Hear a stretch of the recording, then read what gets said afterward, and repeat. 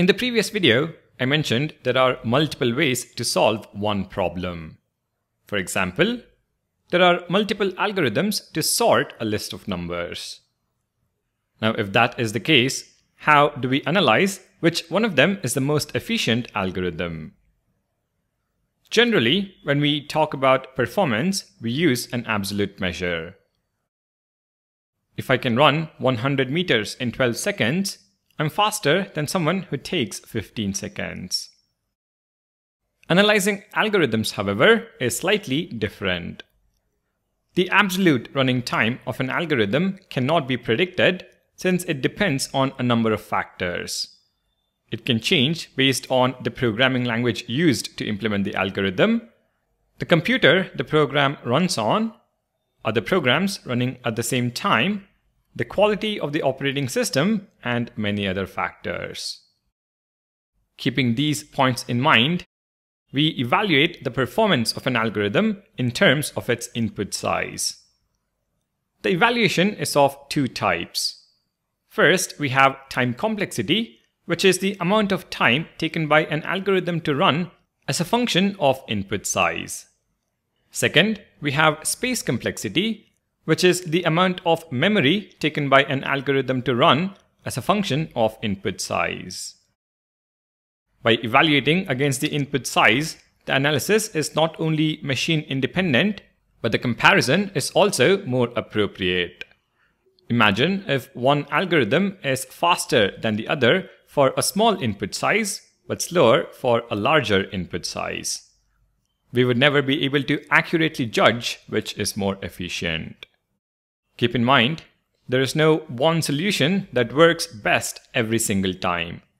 It is always good to know multiple ways to solve the same problem and use the best solution given your constraints. If your app needs to be very quick and has plenty of memory to work with, you don't have to worry about space complexity.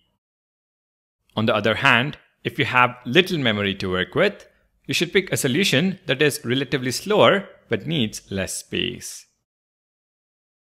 Alright, now that we have an idea of what time and space complexity are, the next question you might have is how do we represent the time and space complexity of an algorithm? Well, we do that using asymptotic notations. Asymptotic notations are mathematical tools to represent time and space complexity. There are mainly three asymptotic notations. Big O notation for worst case complexity, omega for best case complexity, and theta for average case complexity. Now at this point, if I were to explain their theoretical definitions, it would unnecessarily confuse you.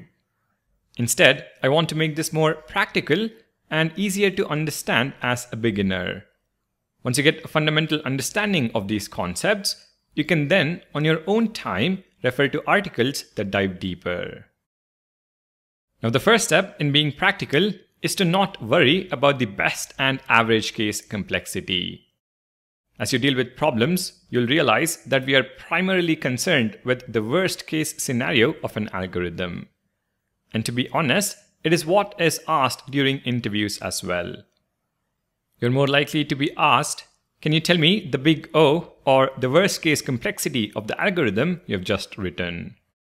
And for that reason, our focus as well will be on the worst case complexity in this course. So in the next video, let's learn about the big O notation. Thank you for watching. Make sure to subscribe to the channel and I'll see you in the next video.